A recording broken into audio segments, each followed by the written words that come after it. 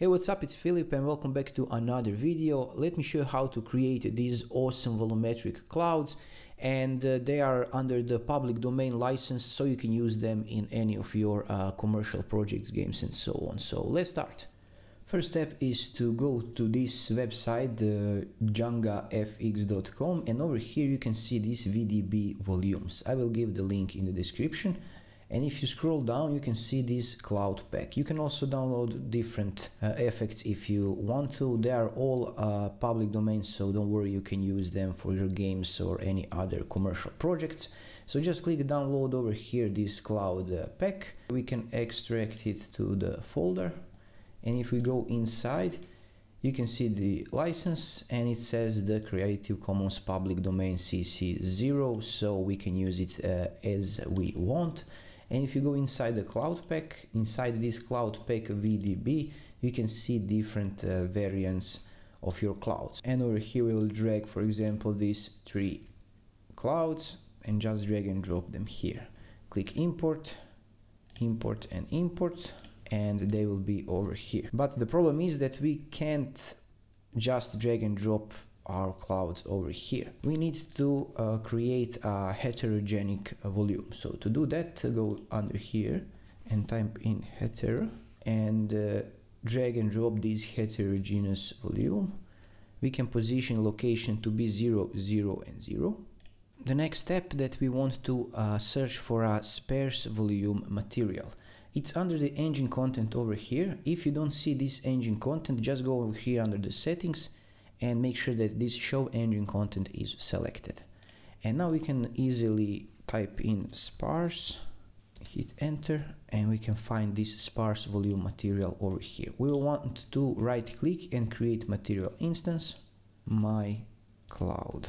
We can see this because we have this filter on, so we can just type in my cloud and we want to go scroll up and uh, just drag and drop our instance that we created to our content folder and click move here. Okay you can close this go to content and we can see this my cloud over here. Now open my cloud material instance open this global texture parameter values uh, enable sparse volume texture and we will now add this cloud variant 000 for example and just drag and drop it here make sure to save. And now while select your heterogeneous volume you can see material solar here. We will add our material here. And just like that we have a nice awesome looking cloud. Make sure to save your level so you don't uh, lose your progress. And what we can do now we can double click on this material instance and drag it here so we can see it better. You can go to albedo and you can change the albedo color over here and albedo scale. For example, if you want to change the color, you can go over here and change the cloud color. And uh, over here under the scale, we can change the scale of our color so we can have these nice white clouds or you can go more with the black. So let's go with the white clouds.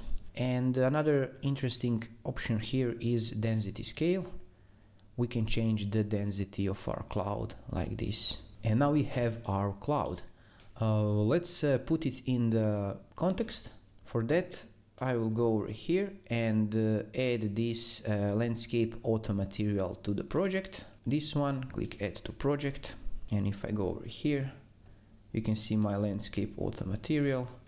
So we can just go here under the maps, use this mountain range, for example. And what we are going to do we are going to disable these volumetric clouds and add our cloud just over here.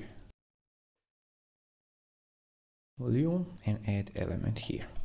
If I hit F we can see our cloud here and make it uh, really big and put it on our mountain range.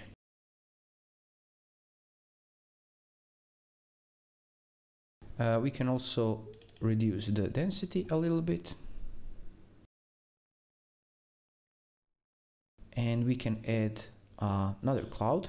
It's very easy just uh, duplicate this volume. For example like this. Duplicate this uh, instance.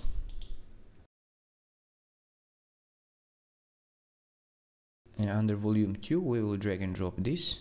And if we open it up we can change the over here another cloud. Just drag and drop it and it will add another cloud to our level.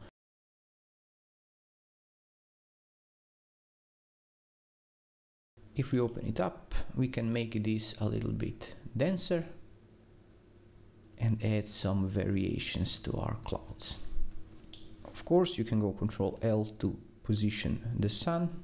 As you can see we have these nice clouds in our level and this is it. If you find this uh, helpful let me know in the comments below. Drop some likes and uh, subscribe for more uh, tutorials like this. Thanks for watching and have a nice day. Bye bye